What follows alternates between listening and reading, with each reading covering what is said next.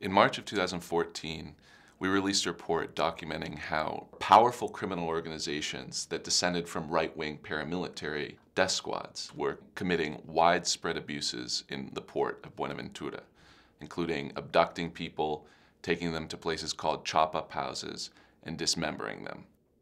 The report showed how uh, thousands of residents had fled their homes as a result of this violence, and how authorities were completely failing to hold anyone accountable. The same month that we released our report, President Juan Manuel Santos announced a special intervention to improve security and dismantle the criminal groups terrorizing the city.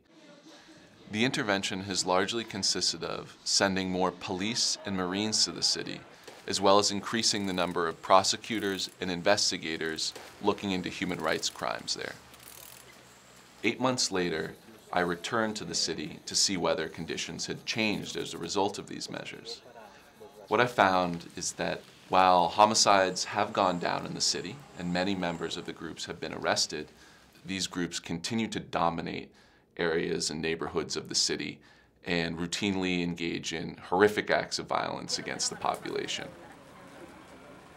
Henry Ramirez is a photojournalist who's been covering crime in Buenaventura for more than 20 years. Pues la situación se ve igual. Estos homicidios que, que aumentan a veces en Buenaventura, a veces disminuyen, pero siempre sigue siendo un flagelo en nuestra ciudad. Pues eh, tienen, como se dice, militarizado toda esta zona, pero con todo eso siguen sucediendo casos atroces como este, como el que estamos viendo aquí en la ciudad de Buenaventura, donde pican a sus víctimas. Esta persona que estamos viendo al fondo es una persona que se llevaron del barrio eh, Camilo Torre, fue llevada y fue descuartizada, picada en un sector de Gamboa, ahí mismo lo enterraron en uno de los cementerios clandestinos que tienen estos hombres al margen de la ley de este sector. Como ustedes pueden ver, las autoridades presentes en el sitio, aquí ya traen tres bolsas donde se traen a, a la persona fuerte, pero esa es la cruel realidad de Buenaventura. Authorities highlight the fact that homicides have gone down in Buenaventura, and that's a positive development. But the truth is that atrocities continue there. Women and girls continue to be raped, there have been multiple new cases of dismemberment, and disappearances, which aren't recorded as homicides unless the body is found, continue largely unabated. Yo creo que no saber dónde está mi hijo es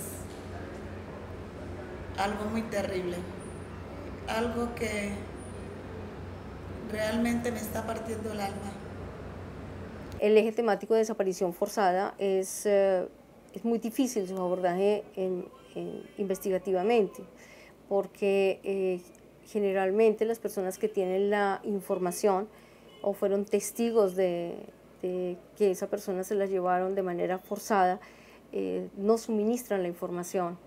Aunque las personas sepan algo, nadie le da información a uno, porque de pronto temen que las personas lo vayan a dejar mal. Pedí a la autoridad que me lo ayudaran a buscar, solo eso pedí, que solo quería ver los restos de mi hijo, pero yo sé que no pasa nada. Hemos aumentado los esfuerzos durante 2015 en la búsqueda de sitios donde presuntamente hay personas inhumadas. Hemos hecho exactamente eh, 13 hallazgos durante 2015. The increase in prosecutors in Buenaventura was an improvement, but it clearly wasn't enough. Almost none of the investigations into disappearances and other crimes have led to arrests, and there's still only one prosecutor in the city investigating disappearances. And that prosecutor is looking into more than 450 cases. If authorities really want to deter disappearances and other abuses in the city, they need to assign more prosecutors and investigators to look into crimes there and ensure that those responsible for these horrible abuses are held accountable.